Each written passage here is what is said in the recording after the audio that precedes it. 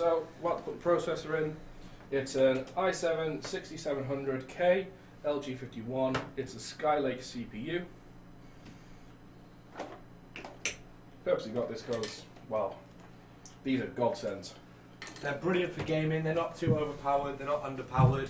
They're future-proof, and they don't use much power, which lets you have a bit more headroom for your uh, graphics cards.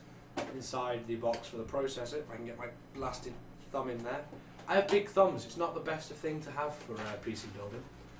But we have the processor, instruction manuals with a shiny sticker to go on the front of my case, which says Core i7 inside. Just So if you're one of those people that likes to put uh, stickers on front of their computers, they do come all these parts. They come along with all this. We also have a Republic of Gamers sticker that came with the motherboard to go on the front as well. The processor comes in a neat little box, which is inside a cardboard thing to stop it flying around when it's in transit. Really just a storage kind of thing. We'll tuck all this back away before we get onto the actual install. Now should be another point where you're grounding yourself, um, as the CPU is Very delicate. Yes. Um, the best way to put it is the CPU is your brain of your computer, for those of you that are tuning in to find out how to build one. The CPU is literally going to be the brain of your computer. It does every. It's going to tell your computer how to do everything. So this is going to be a very delicate part, and you really don't want to damage this. Um, now the best way to ins- uh, how you're going to know how to install your CPU is on your guard here. There'll be an arrow somewhere, and in this case it's here, pointing down. And on your CPU, I'll see if I can find it if I close the box. You can't see it through the box. On your CPU, if you look very carefully in this bottom corner here, So- there is a golden triangle. You can see that there. So you're going to match this arrow to the arrow on your thing. So in this case, it's going to go that way. here. So if you want to open it up, We open up the lever and then it literally is it's going to sit on him. very So- carefully. It's very hard to get it on the wrong way round. There is little notches cut into the socket and the CPU, And now, so it doesn't really go in the wrong way around. at this point, when you're going to put the uh, put your shield back over, it is going to feel stiff. It is going to feel hard, and you may hear a snapping noise. This is the CPU getting put into place. You are not breaking anything. Unless you are breaking something, in which case you fucked up. It is really hard to do. So it's just simply just follow the instructions. How you took the uh, shield off, put the shield right back on, you should be fine. Um, so you're not breaking anything in your CPU. Um, you're more more doing its job and it's holding it in place. Take your time and don't force it. If it does feel too stiff, don't force it. Just double check you've got it in the right way and it's not going to destroy everything. That's not what you want to be put it on doing. if you want to get rid of it. Uh, but what we are going to do first, before we stick the RAM in, is get something out of this box here. If I get it the right way up, it would help. Because we're going to need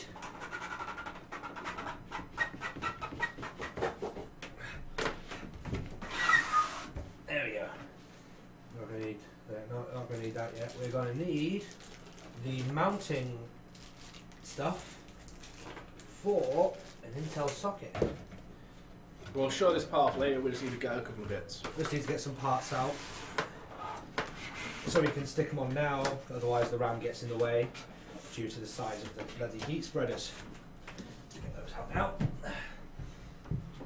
Uh, here we have the rear mount. I can't actually see where that is on screen. Yeah, there it go is. There's a rear mount that goes on the back of the board to mount the heatsink on with, and we have the correct Intel standoffs and thumb screws. In the H100i, there is also standoffs for AMDs and the 2011 socket from Intel, as well as all the 1150X sockets. So that would cover your 1150s, your 1151s, your 1155s, covers everything really. Uh, you'll have to follow your instructions on how to install CPU coolers because they are all different. There's a ridiculous number of variations, but this one, you put the plate through, you take the standoffs, and you just screw them in until they go tight with your fingers. Obviously, make sure you pick up the right standoffs because this one just comes with three different ones. We already have the right standoffs put in a bag to one side. We have, it's just there, little standoff stuck in. Uh, it won't be that easy to see because they are shiny metal against shiny plastic, but we'll try and get a better shot once I've screwed them down. In fact, I can probably work on that right now. If you just want to quickly grab the cam, just so it's on the side. I was just going to hold it up to the camera. Really? If we screw these in nice and tight. We've got a close-in cam for a reason. Uh, where's my last one? There's my last one. Uh oh, thumb screw's doing a roll. It's fine. it stopped. Thumb screw's making a run for it. Yeah, if you just want to grab the close-up cam once you're done. Let's do that. Here we have the mounting hardware for the uh, these standoffs here. At this, four of them, one in each corner. at this point, it all should be noted, be very careful when you're grabbing your motherboard from the bottom, as if you, if you want to try and flip it, My hand is actually on the mount on You the don't really plate, wanna- not on any pins or anything. It is physically on the plate you don't really want to touch that. On top of that, even if you are grounded or anything, that is going to hurt quite a bit. Also, because it's not going to pop up on screen because I haven't had them in yet. Thank you for the follow, Mesa. Uh, I can't even say that. I was going to say Mesa. Thank you for the follow, Mesa, and welcome to the binary. I hope you enjoy your stay here in the database.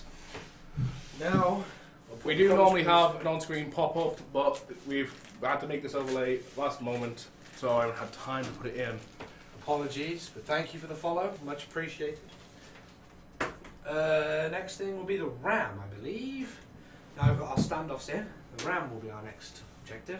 We Indeed. can't really put that on because that's going to have to go in the case first. Yeah, this may take some trial and error and come in and out of the case several times. I can easily imagine. This may be a lot of trial and error when it comes to actually inserting So I'm going to pass the one of those to use, and I'm going We to use have- one of these for the cam. So we've got Dominator Platinum, 16 gig of RAM. It's Um, three 3,000 megahertz. so yeah, I'm going to use this one for CamView while you install that one. Uh, they come with Corsair Link on them. So you can replace these as for LED ones. Yeah, yeah, again, if you want to show off your case a little bit more to your friends and family, so you can get Family. So if you want to light up this bit here, that you can't really see all that well unless I zoom in. There we go. You can barely see it. It says Dominator DDR4. So you can get this lit up with LEDs. Um, um, I believe uh, so. You can also get like ones that go along the bottom. This already has LEDs inside of it. Which you will see later on when it's all lit up nice and shiny. Uh, Um, quick note to say about installing your as memory. If I could quickly borrow that don't, back. don't touch the gold bits on the bottom. Try and hold it by the heat spreaders themselves. If you have RAM without heat spreaders, try and hold it by either end like that, so you're not actually touching any of your contacts. Because you may not kn- may not feel it or know, but there is oil on your fingers that your skin naturally leaks, for lack of a better word, I mean, if we and it can cause a short circuit. Yeah, I don't know if you can cheaper see RAM it. sticks. Like you can see a slight shine more over under the Corsair bit there. Like this is just natural grease that comes off your fingers and stuff. But a quick note about installing your RAM. Um, DDR1, DDR2, DDR3, DDR4, basic bases where this little notch is. You can see that little gap. You want to line this up with the slots in your as in. So they're only going to go one way. So if it goes in this way, it's not going to go in that way. How it works.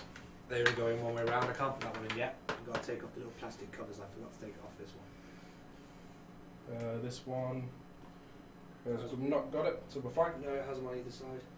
It's literally just on the Corsair logo. Ah, yeah, I see. Little tiny ones. I didn't notice them until I saw this one and went, ah, crap. There's Yep. one. Doing it live right here. Peeling off the shiny. Uh, the Dominator Platinum RAM also has a Corsair Link connector, which is a little tiny pin on this side of the motherboard, or this side of the uh, RAM there. If you want to show them, it's just there. This bit here. Yeah, that little bit Yeah, there. again, another bit you don't really want to try and touch. Yes, it's a So little tiny Corsair just right next to where my thumb is for focusing. There we go. Perfect focus. Oh, and we lost it. It's Go on. somewhere. The focus will come. It'll come. Woo!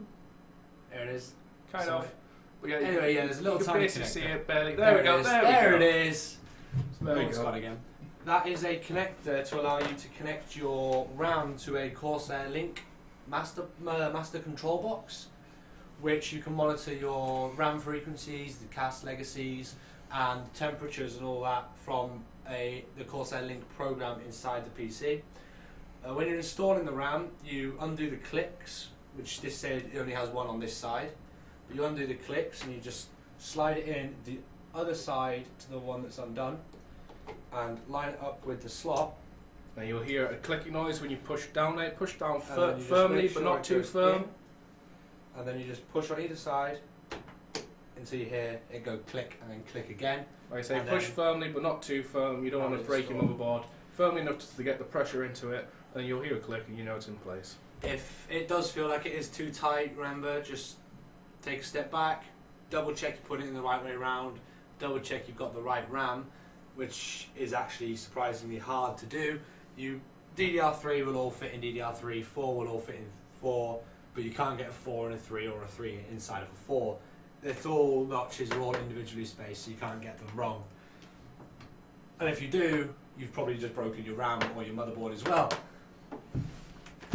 Now, So now, at normal things, if you've got um, a fan heatsink, You this is normally the point where you want to install it, but in this we case, don't we, have air cooled. as we're water cooling the CPU, so we're not installing that at this moment. But if you've got an air-cooled heatsink, this is normally the part where you're going to install your AIRS heatsink now. Um, obviously, once you apply thermal paste. Yes, always apply the thermal paste. Also, it is highly recommended, even if as, as the stock heatsink or the CPU comes with pre-applied thermal paste, it's always advised to wipe that off with a tissue and as, as by Uh, use 99% pure alcohol, isopropyl alcohol. I can't say that word. It's basically 99% pure alcohol. It will clean any residue, oil, fingerprints. It'll clean the processor completely spotless. Even though that one does look clean, there will be stuff on it that we will get off with the alcohol wipe shortly. Once we go Um, around to actually getting thermal It paste. is on the advised to have a nice smooth surface for all this, but it's always better to buy an aftermarket foam piece to apply on afterwards. Uh, we have not down there. it's in your box of It's in my box of bits. That's where it is. It's in my little box. In my box, we have. You go. We have got Cooler Master E1 uh, thermal paste. It's the one I recommend. It's not the most expensive. It's not the best, but it does the job. And I've always seen an improvement over standard. Also, uh, quickly point out, um, in fact, I've got the exact same one here. Yes, you've got the exact same tube in your hand. Yes, so here's one outside the box. It's just a little syringe, little cap for it. You're going to put it on. I would like to point this, out, This going to focus. There is all the stats and stuff there. I can't be bothered reading them out. um, it is also to point out, this one tube is not for an entire CPU. You do not No, spread this you will entire thing. only use a very small, very, very small And amount. we will show you roughly the right amount and stuff. Uh, there's different methods to apply this, but we're going to use the most common method, which is um, normally Grain of rice. Grain of rice, and then you put the heatsink on top. But like I say, You- this entire tube, we've used this. S- Four computers, uh, laptop. Laptop, both consoles, the Xbox 360 and the PS3. Like we've used this a good say, Seven or eight times. I'll say 12 maximum. Just Uh, we've used it a lot, basically. A We've lot. used it a few times, and there's still a bit left in it, so you do get a, quite a bit for your money. So don't worry about it.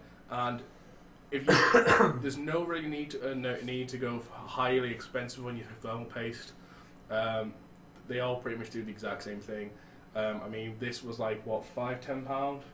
Uh, it's nine ninety nine at Maplin's by us. I don't know where it'll be in the rest of the country. Yeah, so ten pound for the tube, and then obviously everything you've seen in the other thing, and that's going to do you quite a bit. And it's really good thermal paste. There's no, really no need to go overboard on the money you're going to spend to buy this. Now, the next thing will be the cooler. Yes, it will be the thing that we saw briefly before as I got the mounting bracket out of the rear of the case. We have a H100i GTX all-in-one liquid cooler from Corsair. It is a very nice cooler. I would recommend all of the all-in-one coolers from Corsair. They're just they're outstanding. I've never had a problem with them at all. And this one is their one of their latest and one of their greatest.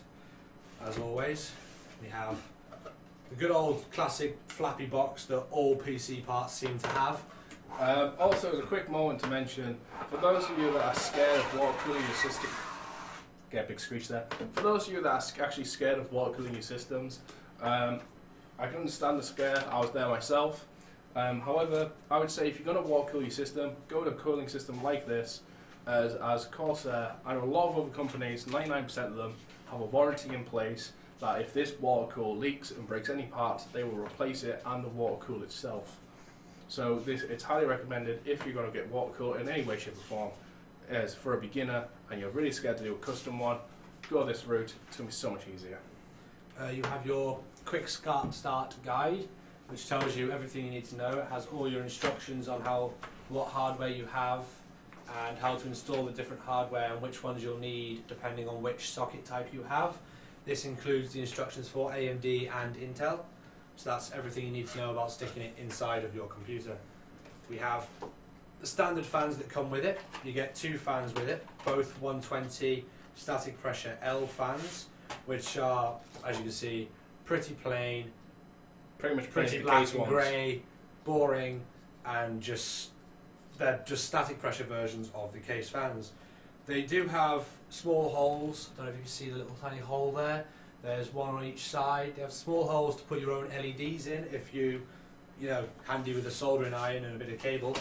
You can stick your own LEDs in them, but I don't know why you would bother. It'd be cheaper just to get normal fans. So we got static pressure 120 mil high performance Corsair fans. Dual pack.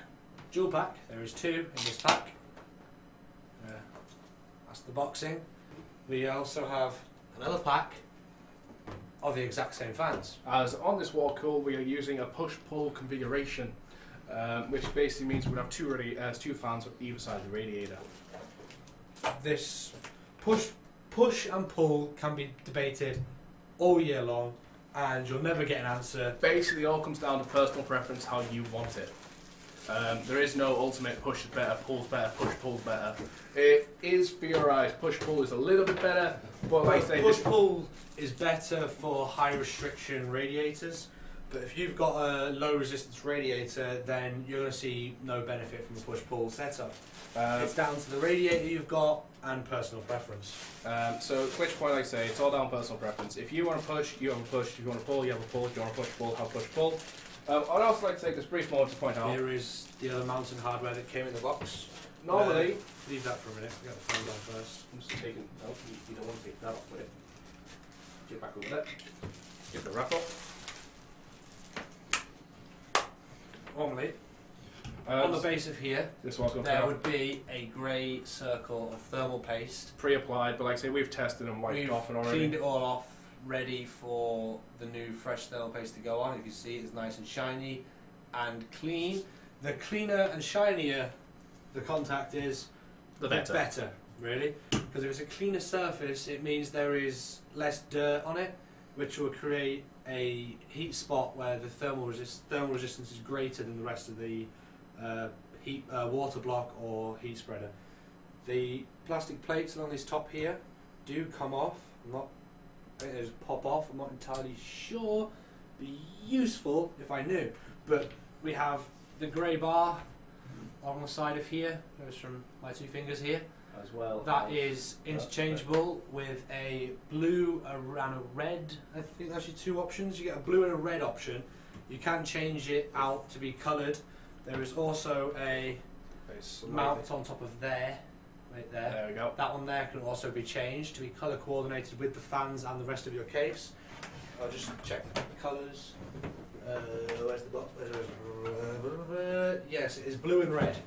Blue and red is your other options, which means you can make it match these. And also, there is as on that concept as what as block there, there is LEDs in that, which yet again, multiple colour choices to make it match the colour scheme if you want to go for a little more design on your case.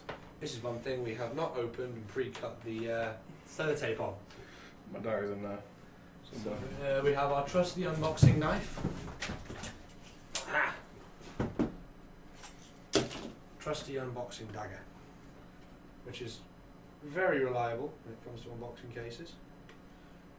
But apparently It requires, doesn't requires sharpen because it does not want to cut. There we go. Does not want to cut the uh, tape on top of this box, which is rather unfortunate because you were meant to be reliable. And I literally just said you were reliable, and then you weren't reliable. And I'm now talking to a metal blade. Well done. We oh forgot to mention we have our Corsair Link cable, which allows you to control your pump speed, set custom fan waves, and basically completely customize what this pump is doing and what this pump is doing to these fans from inside the Corsair Link program. They are very big on it and it is, well, it's amazing really, to be honest, the amount of stuff you can do with it. And inside here, inside here we have our fans. We'll I'd also like to take this moment while it's unpacking the fans to say, as for those that are, as, like say, new to PC building, of course, Corsair do a really smart thing with the branding. You have SP and F as AF, static pressure and airflow. Static pressure is good for uh, like your radiator, your in tight spaces, and airflow is better for open spaces. That being said, though, static pressure can, as most of the time, especially with as Corsair, as actually equal the amount same as airflow going through in an open space that the, as the AFs would do. So sometimes it's as doesn't really matter, but as, as mainly Corsair does it like this. Go over what a few options do. This is one of Corsair's most common set of fans um, with the interchangeable rings, no LEDs in it, just a simple ring colour, which can actually uh, make it good for those of you that don't want to go full razzle dazzle on your lighting. As you, as you may have noticed by the rest of my case, these just pull off. They should pull out. On the side of here, we have little little tabs. You can just see the little lump there, a tiny lump behind my finger. That lines up with the corner, and then it just pushes on, and they're all clipped on with a new colouring. Little snaps, and we have now got a red cover on our fan. JPH1589, thank you for the follow and welcome to the binary. I hope you enjoy your stay here in the database and for the rest of this PC build. Uh, inside the box, you get the little tray with the rings that are going to all get changed to red. And we have some mounting hardware. Little tiny screws. Just your standard ass fan screws. Really? Normal thread, normal Do you guys take questions? Yes, we do. Ask away. We'll ask, answer, answer anything you like. Within reason. Mm-hmm. Don't ask me what colour boxes I've got on. They're blue, just so you know already. In case you're interested. Yes, we take questions. So go ahead and ask away. We're here to help as much as we can. Now, dear me. Do you want to hand me the other box so I get them done for you? I'll open them up. I am more thinking, do I have long screws to mount the push pull? I don't know if I have the long screws to mount the push pull or not.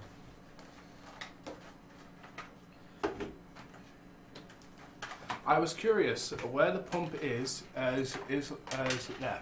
Is it as an all-in-one system? As is it in the CPU block? Yes, the pump is in the CPU block, and the reservoir is on either end of this radiator. It's down here. It's all in one. It's all tucked away very nicely. Uh, they're very quiet pumps as well. They don't make a lot of noise, which is quite nice. When you want water cooling, you want it to be nice and quiet. The pump is inside of here, along with the fan controllers and stuff for the radiator fans. The downside to this the unfortunate downside to this radiator is it only has a connector for two fans.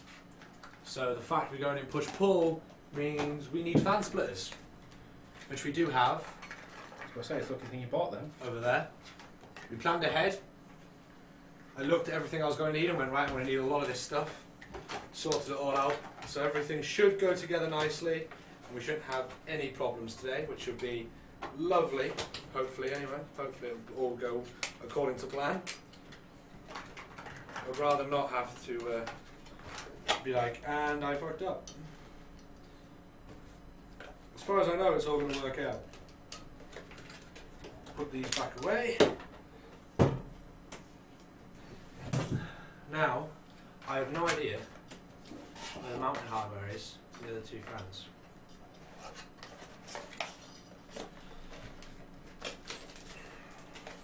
Shit. I have a bag of screws that came with the mounting hardware. And a crap ton of washers. What have I got here? I have eight long screws for my fans, but I need eight more long screws to mount my radiator to the top of my case. Hmm, indeed. So may, you may not be doing a push pull today. Uh, inside the 700D over there, there is a box in one of the hard drive trays. Mm-hmm. Could you provide me with said box, please?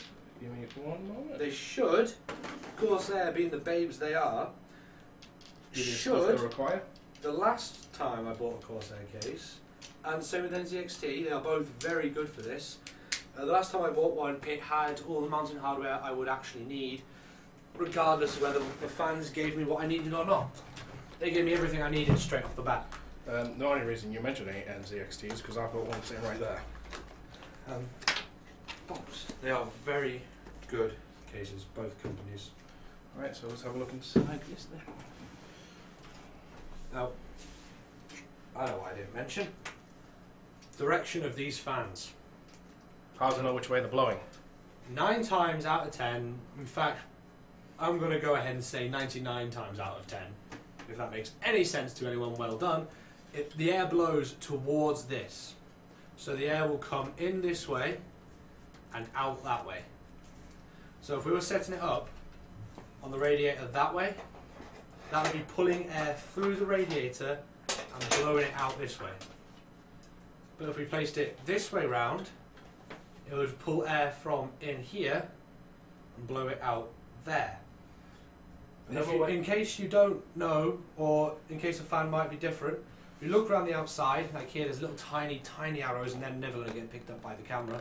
But there's little tiny arrows saying which way the fan spins and which way the air flows. So you, they all do have them marked, and if they're not, you can have a hazard a guess and hope for the best, really.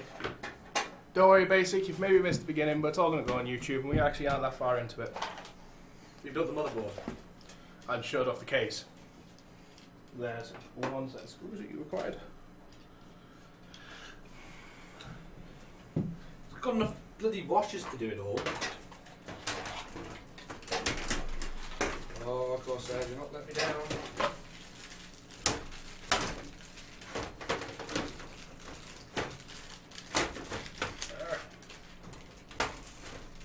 Trying to put a side panel on with one hand. It's not easy. No, it's not.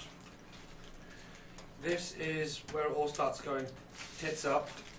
We start making it up as we go along. I've crapped on the mounting hardware. Do I have the screws I need?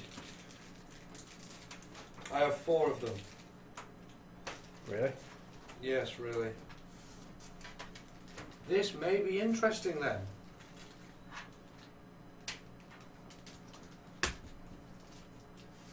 A push pull may be slightly harder than previously expected.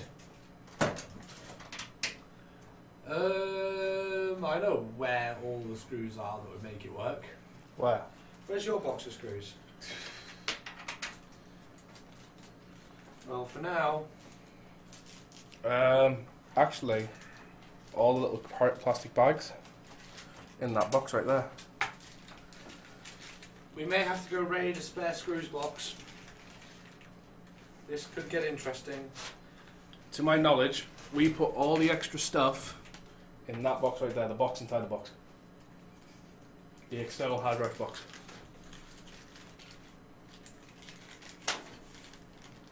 Side panels back on. Awesome. Side panel maybe back on, but we're still making this up as we go along. What's these here? These are my thumb screws for that. Um, you reckon they're in here, do you? Yes, at the bottom.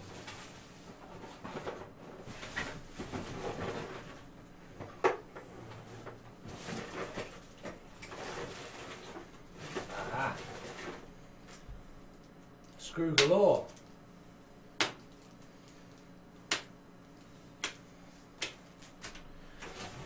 You're looking for the long screws, aren't you?